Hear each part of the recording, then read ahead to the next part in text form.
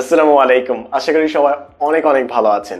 আজকে সকালবেলা compensation management class করছিলাম এবং ম্যাডাম এক্সপ্লেন করছিলেন যে একটা কোম্পানির বিভিন্ন যে কর্মকর্তা, কর্মচারী আছে, তাদের বেতনগুলো কীভাবে ফিক্স করা হয়, তাদের লেভেল অনুযায়ী।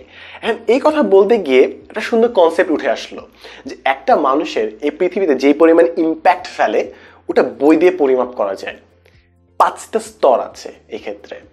প্রথম স্তরে ওইসব মানুষ যারা কোনো বই টই পড়ে না। তাই তাদের ওই টেকনিক্যাল নলেজগুলো নাই। তাই তাদেরকে এমন কাজ করতে হয় যেটা এক্সপিরিয়েন্স নির্ভর কিংবা তাদেরকে ফিজিক্যাল লেবার কিংবা শারীরিক কসরত বলে কাজগুলো করতে হয়। এর পরের স্তরে যারা যায়, তারা বই পড়ে। তো টেক্সট বই বলতে পারেন, অন্য যে কোনো বই পড়তে পারেন লাইব্রেরি থেকে। তো তারা ওই বইগুলো পড়ে কিছু নলেজ গ্যাদার করে, যেগুলো তারা ডেস্ক জবে অ্যাপ্লাই করতে পারবে কিংবা আইটু কমপ্লেক্স কাজে অ্যাপ্লাই করতে পারে। থার্ড স্তরে খুব কম মানুষ যায়। কারা যায় থার্ড স্তপে যারা অনেকগুলো বই পড়ে। বই পড়তে পড়তে তারা বুঝতে পারে যে কোন বইটা ভালো, কোন বইটা খারাপ। ফর এক্সাম্পল এসএসসি এইচএসসির সময় একদম মাথায় ঢুকিয়ে দেওয়া হয়েছিল যে টেক্সট বই হচ্ছে মেইন জিনিস। এর বাইরে তুমি কোনো গাইড বই পড়বা না। টেক্সট বই মেইন জিনিস। তো ভাবতাম যে টেক্সট বইয়ের উপরে হয়তো বা কিছু নাই। পরে যখন বিভিন্ন বিদেশি রাইটারের বই দেখলাম, বিভিন্ন ফরেন কারিকুলাম দেখলাম, তখন দেখলাম যে ওই বইগুলো আরও কত সমৃদ্ধ, কত সুন্দর ইলাস্ট্রেট কত সুন্দর সুন্দর এক্সাম্পল আছে। তো আস্তে আস্তে যখন আমরা অনেকগুলো বই পড়ি আমরা বইগুলোর ডিফারেন্স বুঝতে পারি এবং আমাদের চিন্তা ধারণা আরও বেশি কমপ্লেক্স হয়ে যায় আরও বেশি কমপ্লেক্স টাস্কগুলো আমরা করতে পারি। তো ফার্স্ট স্টেপে কারা ছিল? ফার্স্ট স্তরে ছিল এমন মানুষ যারা বই পড়ে না। সেকেন্ড স্তরে কারা গেল? যারা বই পড়ে। তৃতীয় স্তরে কারা গেল? যারা অনেক বেশি বই পড়ে এবং ওগুলোর মধ্যে ডিফারেন্স বুঝতে পারে এবং জিনিসগুলো আরও কমপ্লেক্স সিচুয়েশনে অ্যাপ্লাই করতে পারে। তাহলে ফোর্থ স্টেপে কারা যাবে? ফোর্থ স্টেপে তারা যায়, যারা বইটা লিখে, যে তারা এত বই পড়েছে, এত বেশি বুঝে জিনিসটা নিয়ে তারা নিজের একটা সেপারেট বই লিখতে পারবে, যেটা পৃথিবীর এই মানব সভ্যতার জ্ঞান ভাণ্ডারে নতুন কিছু অ্যাড করবে। তাই ফার্স্ট স্টেপে যারা বই পড়ে না সেকেন্ড স্টেপে যারা বই পড়ে থার্ড স্টেপে যারা অনেক বই পড়ে ফোর্থ স্টেপে পৌঁছতে হলে বইটা লিখতে হবে। ফাইনাল স্টেপে চিন্তা করছেন যে ফাইনাল স্টেপে কারা থাকতে পারে।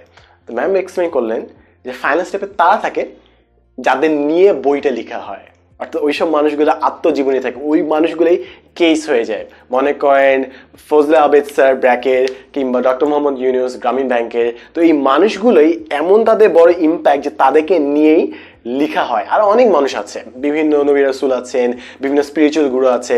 তাই তাদেরকে নিয়ে লেখা হয় যে এত বড় তাদের ইম্প্যাক্ট তো পাঁচ স্টেপ খুব সুন্দরভাবে আমার কাছে উঠে আসলো যে আসলে বই দিয়েও আমরা মানুষের ইম্প্যাক্টটা মেজার করতে পারি। এবং এ মানে এই না যে আপনাকে একটা স্তর থেকে আরেকটা স্তরে যেতেই হবে এর পরের স্তরে যাওয়ার জন্য। স্ট্রেট আপনি ফাইনাল স্তরে যেতে পারেন, আপনি থার্ড ফোর্থ স্তরে যেতে পারেন। বাট এটার মেইন উদ্দেশ্য এটা যে বইয়ের সাথে আপনার রিলেশনটা দিয়ে আপনার লাইফে ইম্প্যাক্টটা অনেক সময় মেজার করা যায়। এবং ওই জিনিসটা অনেক সময় আপনার চাকরির ক্ষেত্রে, বেতন দেওয়ার ক্ষেত্রে দেওয়া হয়। ফর এক্সাম্পল যে তার ডিগ্রি কতটুকু আছে? এসএসসি এইচএসসি পাস, তারপর কি পিএইচডি করেছে নাকি? পিএইচডি মানে হচ্ছে নিজের কোনো লেখা পাবলিশ করেছে। তো এগুলো দিয়ে আস্তে আস্তে তাদের বিভিন্ন র্যাঙ্কিং করা হয়। তো আমার ক্ষেত্রে এই জিনিসটা খুব ভালো লেগেছে যে বই দিয়ে আমাদের জীবনের ইম্প্যাক্টটা আমরা অনেক সময় মেজার করতে পারি। তো আপনি আপনার লাইফে হ্যান্ড কোন স্তরে আছেন? আপনি কি একদম ফার্স্ট স্তরে আছেন যে বই টই ভাই, দূরে থাক? আপনি কি সেকেন্ড স্তরে আছেন যে আপনি অনেক বই পড়ছেন মোটামুটি? থার্ড স্তরে আছেন যে একই টপিকের মাল্টিপল বই পড়ছেন। ফোর্থ স্তরে আছেন যে আপনি লেখালেখি শুরু করে দিয়েছেন।